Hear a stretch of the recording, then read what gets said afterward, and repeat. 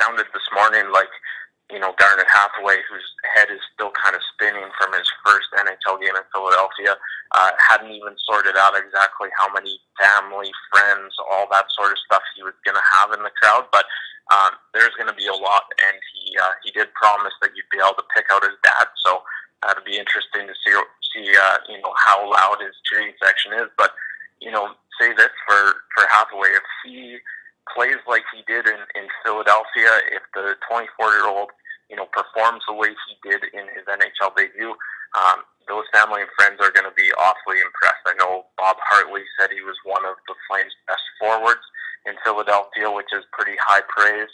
Uh, you know, he snuck behind the defense, had kind of a semi breakaway, provided a, a screen on a goal by Michael Ferland. So, um, you know, about as good of a debut, short of uh, you know scoring a goal that you especially for an energy player. So uh, if he can follow up on that in front of uh, all those loved ones tonight,